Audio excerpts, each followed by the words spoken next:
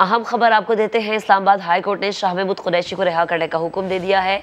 शाह महमूद कुरैशी की three MPO के तहत गिरफ्तारी कलदम करार दे दी गई है। अहम खबर है, एक और रिहाई का परवाना पीटीआई के अहम रहनुमा शाह महमूद कुरैशी को रिहा करने का हुक्म दे दिया है। इसी पर बात करेंगे अपने नुमाइंदे शहजाद अली ने हमें ज्वाइन किया है। जी शहजाद। जी, मैं बिल्कुल इस्लामाबाद हाईकोर्ट की जानब से एक बड़ा हुक्म सामने आया। पीटीआई रहनुमा शाह महमूद कुरैशी, जिनकी थ्री एम के तहत जो है वो नजरबंदी की गई थी, उनकी रिहाई का हुक्म दे दिया है।